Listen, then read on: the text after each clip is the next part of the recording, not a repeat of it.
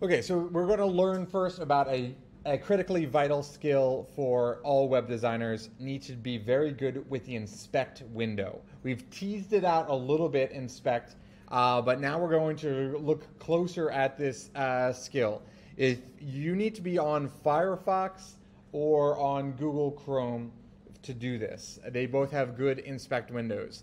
Um, Microsoft Edge and Safari do have the capacity, but it's hidden by default. You have to like dig it out. So you cannot be using Safari. You cannot be using Microsoft Edge for this exercise. But let's go, go on over to gilmore.org.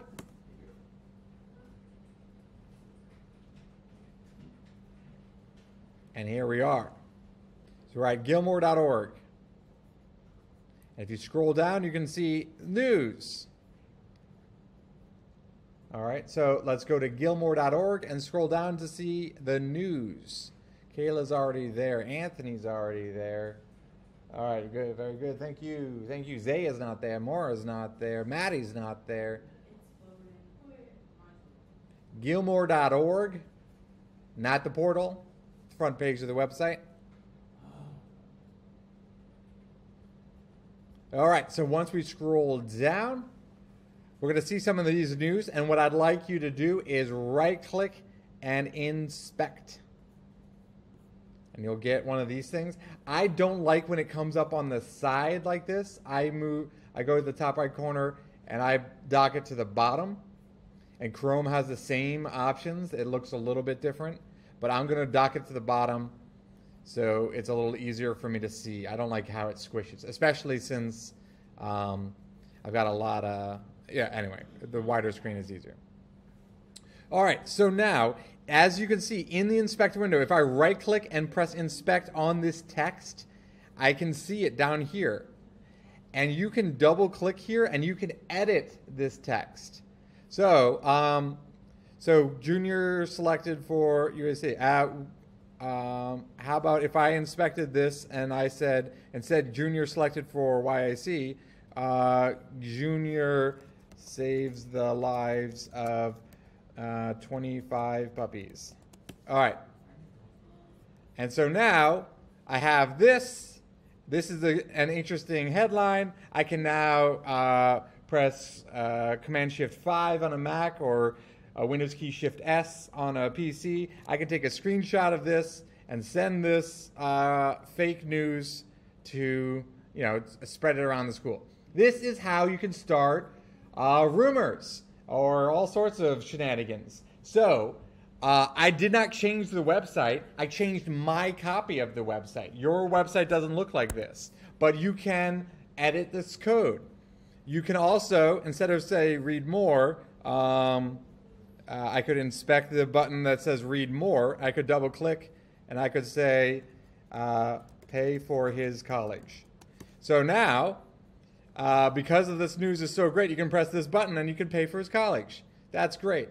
Um, so what I'm going to do now is I'm going to walk around the room and I want to see everyone having inspected one of these and changed the titles. Uh, a note that if you refresh it, it goes right back to the way it was because you didn't make any changes on Gilmore.org. You only tinkered with the code that gets sent to you when you uh, send a GET request to Gilmore.org.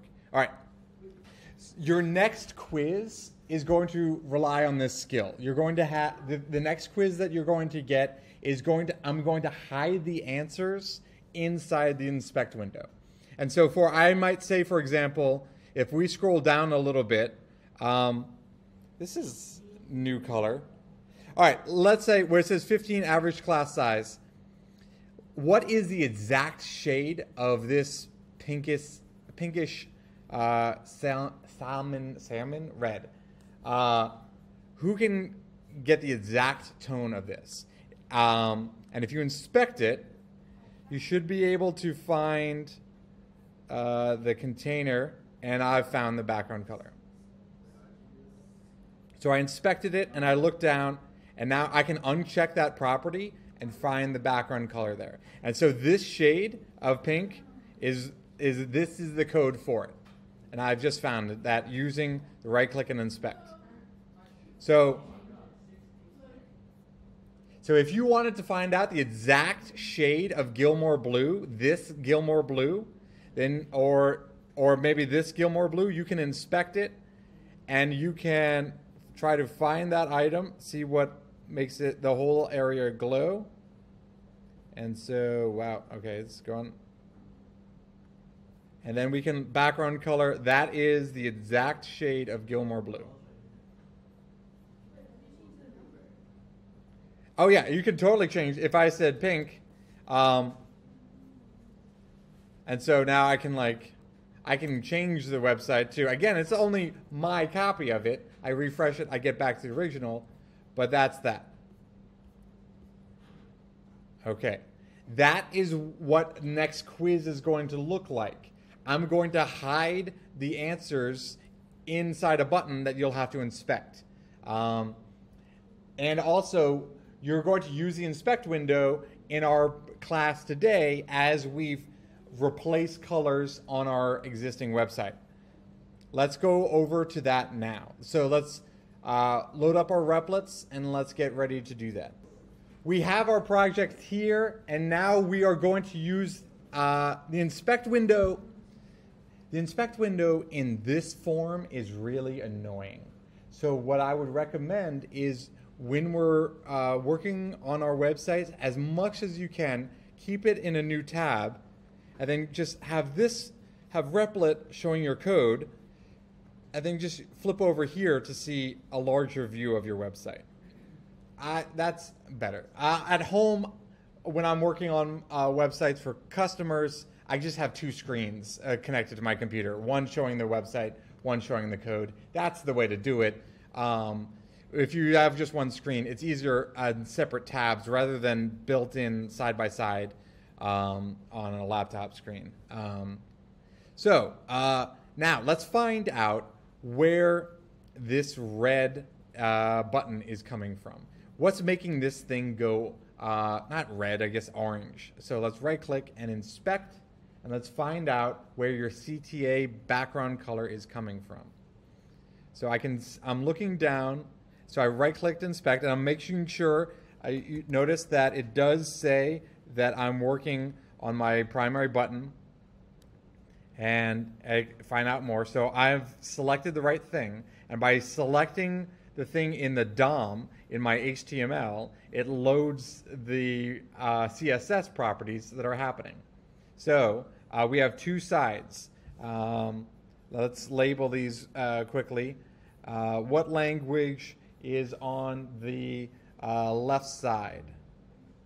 HTML. Oh man, cool. HTML. And the language on the right side, CSS. And again, if you're keeping this on your side, then its top is HTML, bottom is CSS. Um, but yeah, there you go. There is also um, this slide side note. If you click over to console, now you're talking in JavaScript. And so this is this is pretty neat. But anyway, uh, I digress. Um, so CSS and HTML, uh, as long as I have the correct element element uh, selected in HTML, then it shows me that element's properties. And if I scroll down, I can see, boom, BTN primary. There it is. Now, if I want to replace that, the, I want to change these rules. So I'm going to right click and copy this rule. Uh, notice where I right clicked. I right clicked on a blank space inside this rule. So this rule has a boundary box and I selected some blank space inside of it and I right click and I copy the rule. In uh, I'm using Firefox in Google Chrome. What's the option say? Just copy rule? Yeah. Oh, okay. It's, so it's the exact same. Great. Copy rule. Now that I've done that, I go back to my custom CSS and I find a good place to paste. So my hero makes sense because it's the hero button, but I also could put it into a section called uh, colors or a section called buttons because there are a few buttons. So you need to figure out the best place to paste this. But now you paste. I copied the rule, I got over here and paste. Now I can change my font, the background color, and the border color.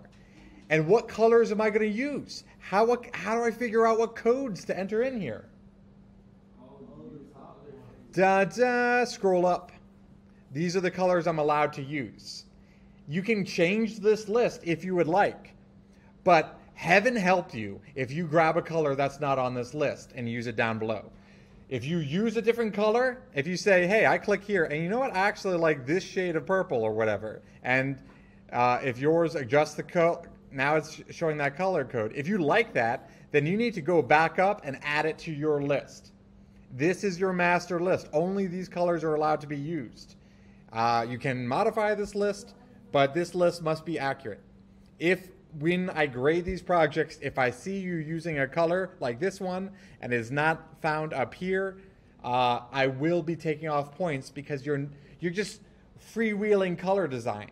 We're trying to stick to a pre, uh, pre-planned pattern so that you can look at this color scheme and I should be, I'm going to load your, uh, your Coolors like this and I'm going to take a look and then if your website doesn't look like this, uh, or at least like a lot of one color, that's fine. If it's not pulling from these colors, I will be salty. Okay, so uh, we are scrolling down and now we can change those colors. Uh, let's see, I would like, what is going to be my primary color? I think I'm going to really lean on this blue. I kind of like that blue. So, yeah, okay, it might not have changed. Let's see, let's see if this is enough to fix things. Um, we may have a different problem here. We'll take a look. Uh, I've just changed the background color. And did that fix it for me? It did. Cool. But Zay is not satisfied because look, if I hover over, it still goes back to that orange.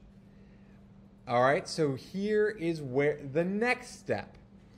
Now we take, I have to teach you one more skill about our inspect window and how to get that hover color fixed. Before I go there though, I'm just gonna quickly walk around the room and make sure no one has any trouble and then we'll go back and figure out how to do that hover skill.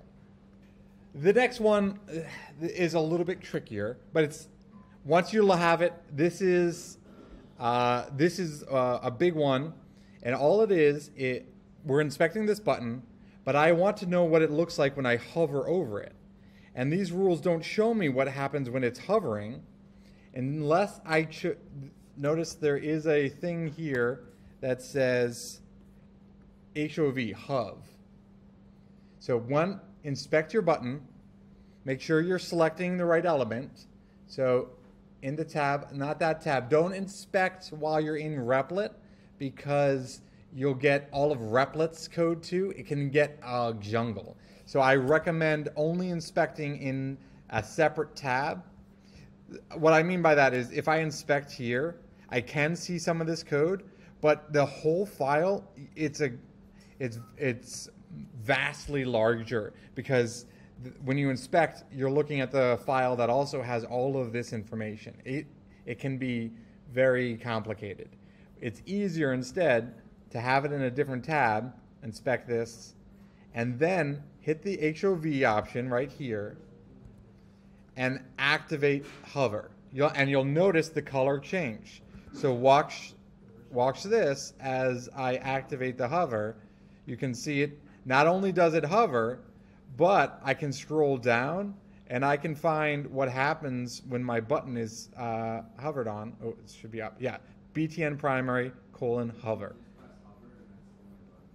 I press hover and then I had to check the hover box so that it'll stay hovering and I can see this, um, this rule. Now I can right click and then copy this rule, come around, and paste that in my CSS right underneath this. And now I've got the hover version.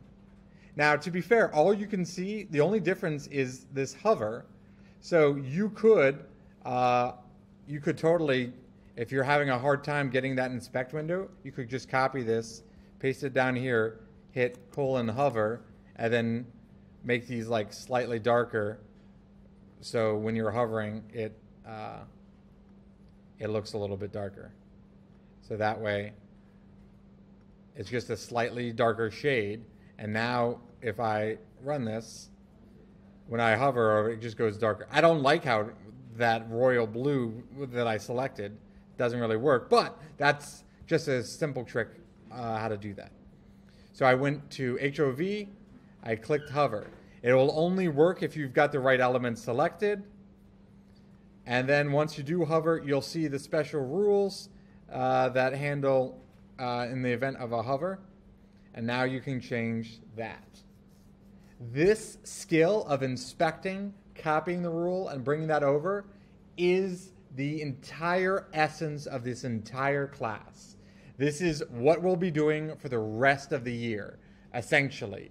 Uh, there's writing, there's graphic design, there's some other properties, but most of your styles and colors and adjustments will be inspect, find what's happening, and then bring that over to CSS, your custom CSS layer, and then fix it there. Um, okay, I'm going to pause this again, and I'm going to come around. Uh, actually, you know what? I'm going to go ahead and stop this video because for the rest of today, we're just going to be inspecting little things. Like I'll inspect this, and I'll figure out why is this orange? And I'll find out, oh, text primary, that makes this thing, and I can toggle this uh, checkbox on and off. That's how I can figure out where this is color coming from. So once I find out where it's coming from, I can copy this rule and I can go and paste it here. And now my color for my text, oh, if I have an important, then I need to leave that there because that means that rule is being shouted. So I have to shout back over that rule. But now I can make my text primary. I'll use the same, I use the same blue just to keep the pattern going. And hashtag bup. So now I've just made these this blue. And the same thing with this thing, this little line. If I inspect this horizontal line, this divider, I can see, okay, there it is rule. I don't care about the rest of this stuff. I'll copy the whole rule, but then once I bring it over here, I don't care about this, so I'm just going to delete the stuff that I don't want to overwrite. All that stuff that I just copied is, is in my styles. I'm going to leave that alone. And I'll just take this color and put it on over here. And so now I've got oh, that blue done. And I'm going to do the same thing with this background color. I'm going to continue the pattern. Uh, we'll do these. These are a little bit harder to fix. That's I'll show you how to get to them later. Um, but the rest of the buttons, uh, background colors, even these links up top, I can inspect and find out where these links, uh, the color. If this white background, if I wanted to change this white background up top, this nav, I can find the nav. There's the background color. I can copy this rule, and I can bring it over here. I can say, okay, this background color, what if I wanted it to be my own shade of white that I have in my code? And so now now it's a different shade. Maybe I want it to be transparent. I could add in two numbers after, or I can just click here and say opacity um, down here. I can just lower this so it's mostly see-through. And I don't think that actually worked. Yeah. Uh, if I just add like a 70 at the end of that, that'll also work. So now it's see-through. All right, I'm going to stop the recording here and I'm just going to spend the rest of the class. We're just going to edit the colors. If your colors are done, then you can start working on the actual text that we'll need. And then on class on Tuesday, we're going to work on editing the pictures in Photoshop and getting that in here. And that'll be a week long uh, effort.